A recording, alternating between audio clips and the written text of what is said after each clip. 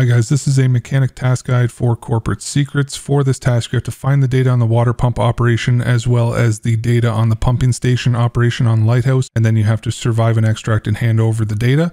So here's a map of Lighthouse, and for this task, we have to go up to the water treatment plant to building number one and two. We're here on Lighthouse just outside of building number one at the water treatment plant. So we do have to go into building one as well as building two for this task. So for building one, we have to go into the far side of where we currently are. So it is going to be the side closest to the train yard. So we're just going to go all the way over to the other side. There is going to be a ramp that goes up to the second floor and then we will go up to the second floor and then over to the room on the far left side. So once you go into the room, then there will be a bookshelf on your left-hand side. You are going to be looking at the bookshelf that is second from the bottom on the right-hand side, and there will be two binders that are located there. So you have to interact in between the two binders, and I will show a picture of what it looks like in terms of where you have to interact with in order to pick up one of the data items that you need for this task. So after we pick up this data item, then we will be moving over towards building number two to pick up the other one, and it is important for you guys to know that there is the chance that ground rogues will spawn around building one or two, which is where you're going to be for this task, and then you also have to be aware of the Gatling rogues, which can spawn on both sides of building number one. And then also there's going to be one up in the corner of building number two. So if somebody has aggroed them or shot at them, killed them, then they will already be predisposed to shoot at you. So you may have to take them out in order to move forward. So the corner rogue that's going to cause you some issues on the Gatling gun on building two is going to be right here. And so normally I will use a scope that has a little bit more magnification just so I can see exactly where my shots are going to be going. So you just kind of do a quick peek, take him out, and then you can move up to building two without a whole lot of worry. And the other thing to check before you move all the way around is to turn around here. And then there is a Gatling gun that's right there in building number one. And you can get shot in the back by that rogue if they do happen to be up there and they will kill you in literally one bullet. So I always tend to check it and make sure that that gun is pointing up to the sky, which means that there is not a rogue that's on it. And so again, we have to go all the way over onto the far side of this building when we enter in through this door. And then we're going to be going up the ramp and then to the far left room.